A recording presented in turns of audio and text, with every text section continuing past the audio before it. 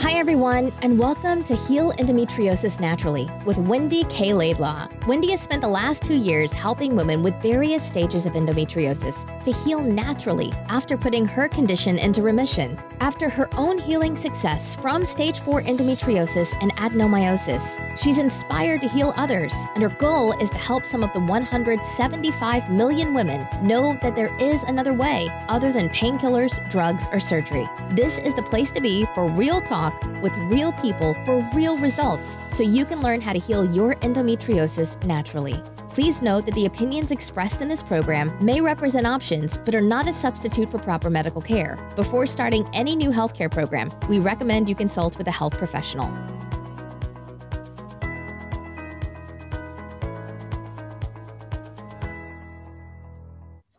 Hey, good afternoon, everyone. Welcome to this week's, and we are still in the Feel It section, which I know is everybody's favorite section, is the section that everybody just doesn't want to think about and doesn't want to feel, which is why we're doing it at the very beginning. Those sections we've been really struggling with, like the core elements like journaling and meditation and self dates and things like that.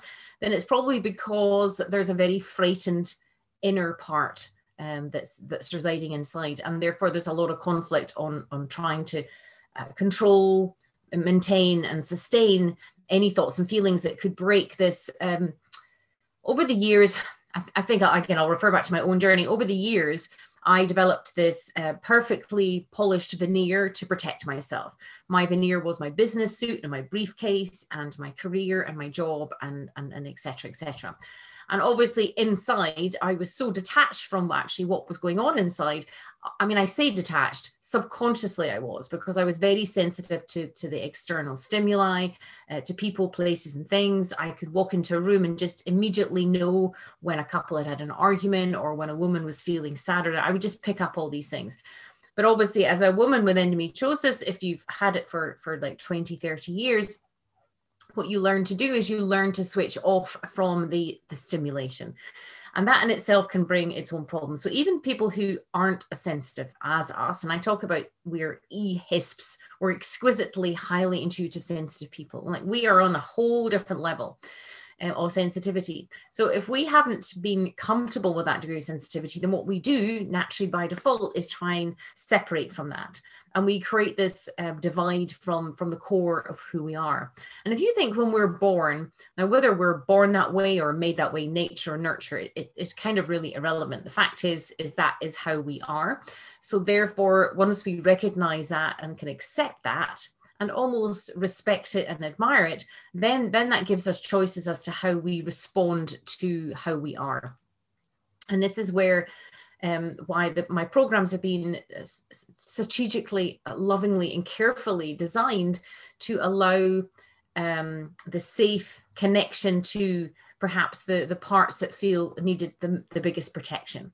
Now, most people, uh, in fact, I heard this this uh, statement the other day from somebody who who works with um, who's a psychologist, and uh, she says every single person alive did not get their needs met growing up. And I thought, wow, that was such a big statement because almost there's a um, a feeling of shame or almost guilt for thinking that you have needs that weren't met or um, I think it was uh, one of the authors I've been reading. In fact, I think her name is here. Uh, Alice Miller is a very famous psychologist. And this book, The Drama of the Gifted Child, is very interesting because it questions things like why, um, from a you know the, the testament's perspective you know in, in religion why do they say honor thy mother and father? Why don't they say honor the child? Which i thought was a very interesting question. Um, and i and i guess while we're on this journey and we're we're exploring ourselves because this is why disease or disharmony is showing up in our body and it's reached a point where we're like okay we can't keep doing what we did before because it's not serving us it's not it's not healing us it's not helping us. Then we have to kind of gently ask the questions. And um, I interviewed a um, a fantastic uh, chap yesterday for my podcast, which will be, and, and he was saying the same thing. It's the questions we ask ourselves. So, uh, um, and to do so in, in a loving, nurturing, and, and curious way, that is what opens up all these different elements of us physically, emotionally, spiritually. Um, and that's kind of what, what, what we're doing with um, by, by this point of the feel it, invariably the idea of feeling it feels weak. That idea of feeling anything feels kind of like we should dismiss it because that's how we learned to survive in a very overstimulating world that's actually a very toxic world. I had a conversation with somebody earlier and they were saying how they'd witnessed this um, very tall gentleman going into a pharmacy and raging at this poor pharmacist girl behind the counter. And he ra- he threw down his basket and he raged at her, and, and he was a very overtly very angry man. Now that would be very unsettling for anybody's nervous system because you can see it and, it, and it's very clear. But there, my grandpa used to say, there there are none so strange as folk. And there's a wide range, i.e., there's lots of strange folk out there, and um, and what, what I mean by that is, you know, there are a lot of people out in our environment, a lot of people out in our society, in our workplace, uh, in our family, even, who are maybe very angry inside and project that anger out onto us, you, me, anyone round about them, anyone really, like that angry man. But some people learn to kind of mask it and shove it down. Now, anger is a very interesting emotion, as you know, and we all have feelings of anger. There's no shame in that. The shame comes when we project it onto other people and we don't own it. Uh, uh, the, the, the feeling of anger is tends to be shied away from and feared and revered because again you see people um, be overtly angry and you make a statement yourself well i'm never going to be, behave like that there's nothing wrong in being angry upset disappointed hurt these are all very important emotions so if you remember the the emotional kaleidoscope it's very important to kind of keep increasing your awareness of what feelings you're having. And this, of course, is where the journaling comes in.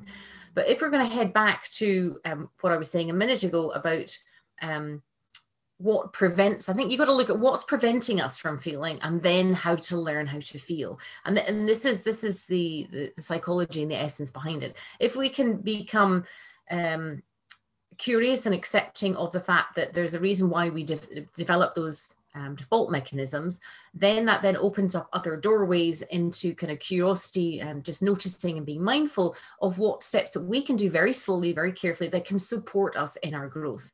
Because I think um, I know on my own journey, I went on the, the conventional route and, and brain, body, everything, and um, I thought that's just what you had to do, and they would fix me like a like a dysfunctional sort of um, machine that comes off the conveyor belt. I thought I just needed a bit of tweaking, a bit of twinking, and I'd be I'd be fine and off my way.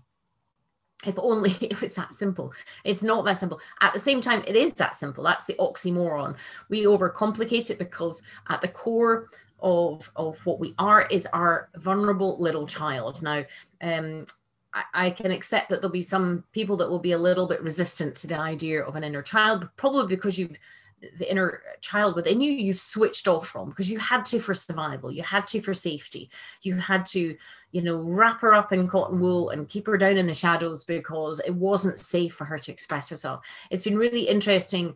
Again there's a, um, a common theme that that is uh, occurs with uh, with all of us um, is that we we truly didn't get our emotional needs met as we're growing up and even even uh, more to that, we didn't get our spiritual needs met. I, you know, I'm not even talking, you know, uh, religious or anything like that. I'm talking from if if you look at a puppy, which I can't remember brought Poppy on last week or not, you can feel her spirit. Her spirit, her spirit is is like effervescent. It's sparkling. It's uh, she, she's vibrant. She's she's got no fear.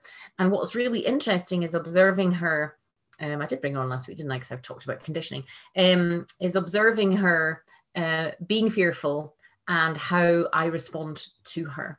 I, I, know with my own children, because I didn't get any of my needs met growing up, uh, apart from the very basic functional ones, um, I literally was at pains. I read and and I remember reading The Power of Positive Parenting at this particular point and recognizing uh, I didn't have all the words and the language for everything, but I knew in, in, I knew intuitively that my upbringing had been dysfunctional. I kind of recognized it. I didn't realize to the degree that it was. So therefore, I needed to learn other ways. I had to be curious and mindful um, of other ways of interacting with my children, so that they wouldn't end up with the same um, issues, concerns, fears, anxieties that that I had at that particular time. So uh, by, by reading things like The Power of Positive Parenting, it actually opened up to how negative the parenting was that I'd got, how uh, critical, judgmental, attacking, uh, destroying all the spirit that it was. And and the spirit's a very it can be a very strong element to a human. And I believe that every woman that comes through my programs has this innate fighting spirit in them that they're just never ever going to give up which i just dearly love and that's why i love working with you all because you have that strength and you have that power. It's just at the same time on the flip side it's like the yin and yang you also have that vulnerability and you also have to have that degree of sensitivity which when you can learn to merge the two together then you don't have the same amount of tension and the same amount of conflict in your body so this is where when i talk about the spirit i'm talking about the spirit being worn down um, being bludgeoned and being attacked and being criticized and and leaving whether it's a baby or a toddler or a young child confused and not feeling safe. Now, we know before the ages of two, um, every baby and child, um, basically, it's it's a sensory organism. So it is its its way of perceiving uh, where the breast is for, for milk or perceiving what is safe, i.e. for crying out or not crying out, is all done sensorily. So it's done from from picking up the, the, the eye contact or for the smells or or for the for the for the feelings that are there. So, so this is why we're, we're doing feelings. Feelings are at the core, along with the inner child, of what we're doing in this particular section. And um, it literally is the search for your true self because you were born with this beautiful spirit, with this lovely soul and energy, with his innocence. Um, I remember my my son's headmaster in primary school saying uh, uh, one of these um, parents conferences and and I was really struck by it. And I can see exactly I can still remember exactly where I was standing and when he said it. And he said because he did from sort of P1 up to I think it was P5 or something. And he said this is the most treasured time of their life. They are innocent. These little children are innocent. They know not what is ahead. They know not all the toxicity that's out there. And I'm doing everything I can to preserve that for as long as I can. And it kind of gave me goosebumps because I thought, oh, wow, not only did he truly care for these kids, I'd never had that kind of care. And a lot of us didn't get it. And as I always say, we're, we're not here to bash our parents. Okay. We just make the assumption that you know they were perfectly imperfect and, and they did the best they did. Some like some of my parents were outwardly um I, remember my counselor my therapist saying to me you really should have been taken into care when you were younger because you were so mistreated. But I, I didn't know any different. So i just i knew i had this strong spirit and i knew that i had to uh, adapt it's adapt or die mentality. And I think with a lot of us, we've had to learn to adapt our bodies to an environment which hasn't felt safe. So, what we're doing on this particular journey is uh, becoming curious as to kind of what acknowledging that there's parts of us that still need more information and it's therefore asking the questions what more information do we need from ourselves because this is the key this is this is what makes this different from anything else out there is allowing yourself to connect to yourself so that the, the the relationship that you have with yourself is not fragmented. Is not disjointed and is not reliant on external people to fill you up or to give you answers. Because you know your body and your brain and your feelings and your emotions and your spirit and your soul more than anybody. But the irony is is nobody taught us how to a recognize that we had these elements and these qualities to us and nobody taught us how to interpret the information. So what would have happened is we would have just switched off because that's the easiest thing to do. As i say i look at my puppy and you know I, I i, make the time like i did with my children. I used to consciously think i have to you know when there was a situation. I remember my son going to get um, his inoculations and things and i for about 10 days before I explained like in 10 days time this is what's going to happen. This is what it might feel like. This is what you might be thinking. This is what might happen in, in your body and this blah, blah. and I, I literally took the time because I felt it was important to soothe him calm him. By the time we went to the nurses for him to get his inoculations um, they'd said that Sebastian was the only child, and there had been 15 that day that had been told what was happening. The rest had just brought the children along and without warning had jagged a needle in their arm. So you can imagine what that would do to a child the, the sense of trust, the sense of, of safety, the sense of, of, of shock and surprise. So that's just one incident. So we've got to make an assumption that there are parts of us that are still feeling frightened and scared to feel feeling. So this is where we respect that absolutely categorically, but we also have to support that as well. So once we become aware of it, we have to support it. We have to get everything out of our body and out of our head and out of our brain onto paper, not only to to track the journey and to so that we can look back and read because we think we'll never forget, but we do. Our minds play tricks us all the time.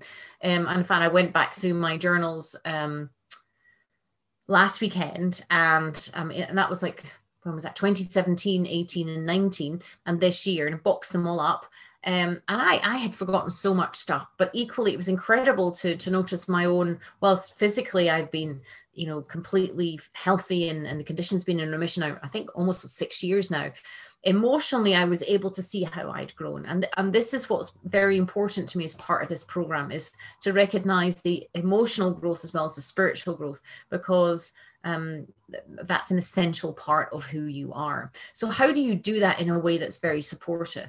Well, A, you, you'll recognize that you probably have a very strong critic, a very strong protector. Uh, they could be the same, they could be separate, they could be a very critical parent in there. And what we're looking to do is to keep um, noticing what's coming up for us in our dialogue. We always have a dialogue going on in our head, always. As soon as we wake up, it's on. And what you're looking to do is to retrain your brain to manage your mind. If we can manage our mind as and become aware of what's what is repetitive in the background, it's like when you go into these uh, go into these shopping malls and into these shops, and there's just this background sort of music on all the time. Now, sometimes that can be going on in our head if we don't increase our awareness of it. So, as you know, my, one of my many sayings is A I E I E awareness, information, education, inspiration, then comes empowerment. So, how do we increase our awareness? Through the writing and through the meditation. And through the, those tools, it allows this communication of um, transmitting and receiving what's going on internally. Now, if you've been switched off to your inner child in particular, that that there's a lot of distrust that that will be going on within yourself. Your inner child probably has tried to come out and express itself before and our and our perfectionist and and people pleaser and, and pusher and all those parts that are very strong parts have said no stop being a wuss stop being pathetic stop being weak and and kind of bludgeoned ourselves that younger those vulnerable parts down into into silence again. So when we start to do this and this is a very important part of the journey i, I really can't stress this enough.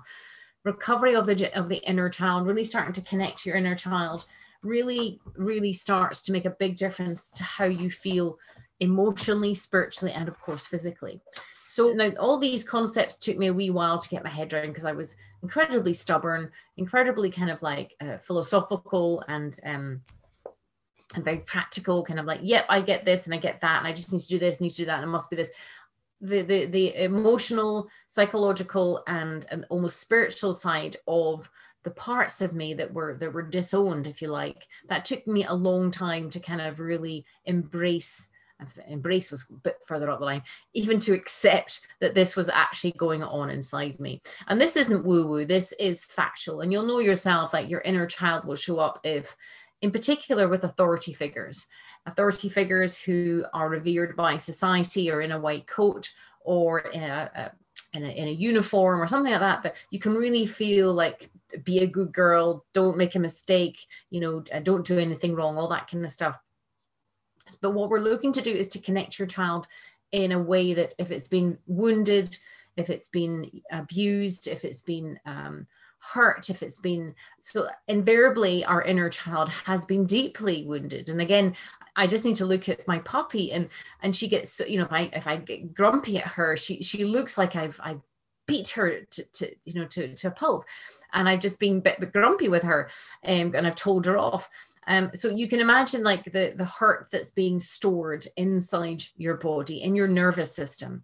And th- this is not woo-woo stuff. This is like factual stuff. You, you know, with all the MRI brain scans and things now that are available, you can tell the chemical reactions that occur in the body again a lot of this is subconscious midbrain and reptilian brain so what we're doing by addressing um, these particular elements is um, by slowly carefully, lovingly, and gently try and connect to the to the true self which has so much wisdom and so much strength and so much guidance. And it's bringing that to um, bringing that up slowly to the core uh, up from the core to, to the surface can really um, surprise you and and probably make you grieve a little bit as well and probably make you sad and probably make you feel a bit d- down and a bit depressed and a bit mournful because so when you start to, to pay attention, when you start to feel the feelings,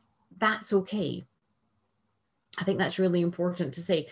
I want you to feel the feelings so that you can move through the feelings. I don't want, I don't like that people feel sad or down or depressed. At the same time, it's completely unrealistic to expect to be happy all the time. And that is uh, define happiness is to learn to try and put words to feeling states so that you can improve the relationship with what's happening. Because when you're little, again, I, I remember with my own children, you know, uh, guiding them and supporting them and saying, "Oh, so how do you feel?" And they go, "I don't know," and say, "So, so if somebody hurt you or somebody bullied you, would you feel hurt or upset?" So again, it's just looking at the words and the language as an adult to help that that that inner, more vulnerable part of you come to the fore. Because if you don't deal or you don't connect with that particular part, it's going to ha- it's going to stay in hiding, and it's going to deprive you of tremendous joy. It, it's not it's not normal to be happy all the time. It's an impossible state. We are living beings that are influenced by everything and and everyone that's around us. What we learn as we continue to move through this program is to find peace is to find joy is to find tranquility is, is to define different um, elements of what I refer to under the happiness banner. And sometimes these things can be fleeting, and sometimes these things can last half an hour or half a, half a uh, an hour and a half or half a day or a day. But again, because we are continually um, evolving and changing and affected by what's going on around about us, I say it's not realistic to, to expect to be happy in inverted commas all the time. Equally, by now, hopefully, you've learned who is toxic in your life because people can have incredible toxicity that can have these kind of attacking, damning projections onto you as well. So again, it's noticing through the journaling and the meditation. The journaling by now, of course, is, is essential that you have this as, as, as you breathe the air and you drink water and you eat food to survive. This is an essential way to allow you to connect with all these younger parts. So um, and I say this considering creating not only a, an internal nurturing parent. And this was something I, when I, because I've been rereading this book myself, I've, I've, read it three times now and I love it. Every time I read it, it kind of makes me a little bit emotional because, oh my goodness, did I bludgeon my inner child to pieces? I was so hard on myself. I was, you know, uh, d- disconnected from myself. And, and, and I guess there's still a part of me that feels sad that I had to be so hard on myself. But then equally, I had no choice because that was my survival strategy. That was my survival technique. So, so in addition to this nurturing parent, believe it or not, I'd forgotten about this protective parent. And what I mean by that is like recognizing it's okay to protect yourself from other things or other people who might be trying to, so I'd forgotten that, you know, um, on my journey, I'd forgotten it's an essential part. You know, when you uh, care for something or care for something, you protect it, you look after it.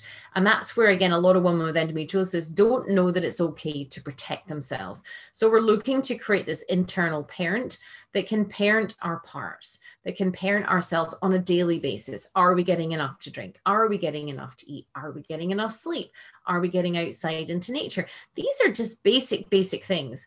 And if you look at Maslow, the psychologist, the, the hierarchy of needs, we need these core basic foundations in so that we can build on these things and we can get uh, more self awareness and then that whole self actualization, which basically means an increase in awareness that you can move forward and attain what you were supposed to, um, you know, what you're supposed to achieve in this world, which isn't being racked in pain and and and misery and distress.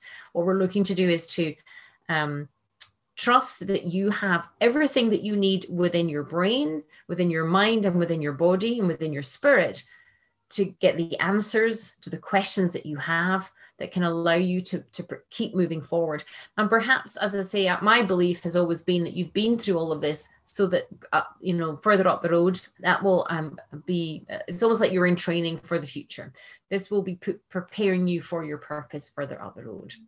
So, what I'm going to suggest is that you uh, try to just be kind of playful, dare I say, be playful with the idea of this creation of an internal parent number one.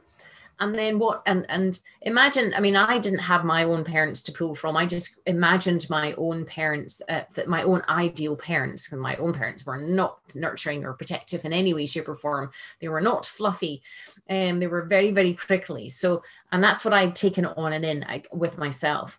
The, the critic had um, my internal critic had got to the point where i just um, I could never do anything right. It was never. Uh, I say perfect enough. I, my perfectionist uh, used to show up quite a lot. Nothing wrong with those parts, by the way. My philosophy is these parts are there for a purpose, and and they did an amazing job. What we're looking to do now is to bring up the other parts of you, the other beautiful parts that are maybe currently in hiding and too scared to come up. So how do we do that? Well, first of all, we increase our awareness of what is going on in our head. What is the dialogue? Is it helpful?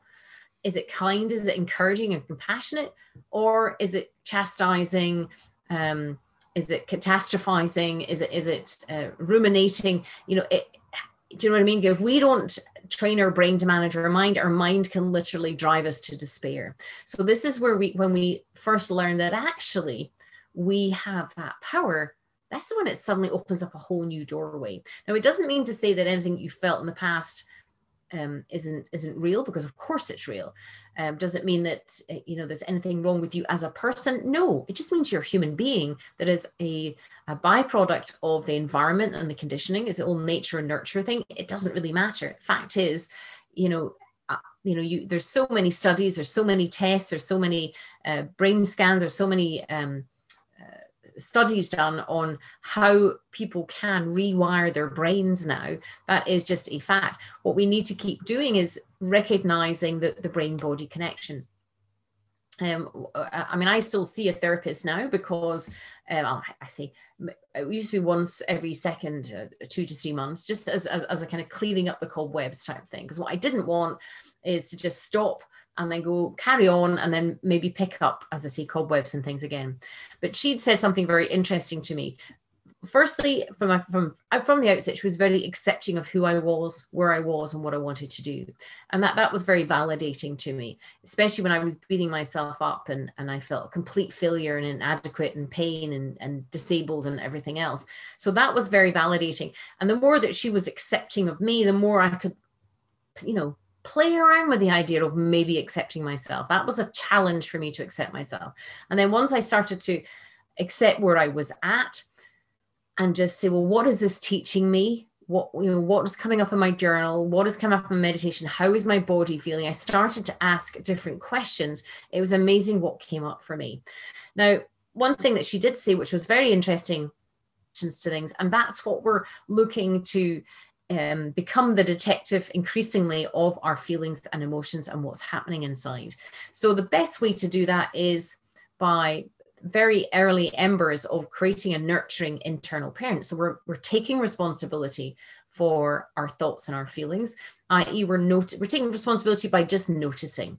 It doesn't necessarily we have to change them at the moment. I just want you to notice them. I want you to go, oh, that's interesting that I thought that. And then if you can, stay with it and notice how it affects you in your body and where it affects you in your body. Because all this is going to be strengthening you in many, many different ways. And then get involved and, and experiment with it and see what comes up because it might surprise you. And what might also surprise you is the feelings and emotions that come with it. Whatever comes up, you'll be able to handle, I have no doubt, because you have the resources.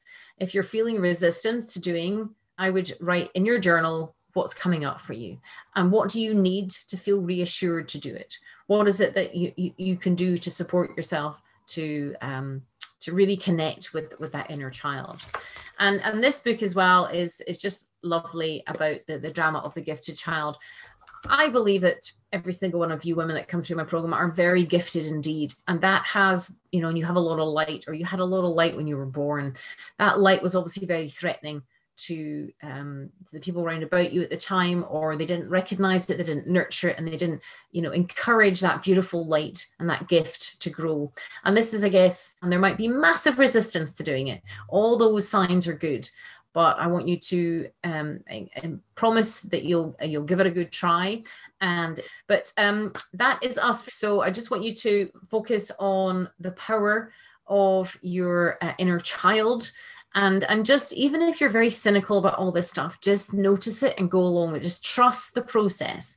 Trust that you have all the resources within you physically, mentally, emotionally, and spiritually to heal your body and to heal your heart because your heart will probably been very very battered and bruised and also to heal your soul and and um and and obviously the, the emotional component as well so so that is us for this week okay take care bye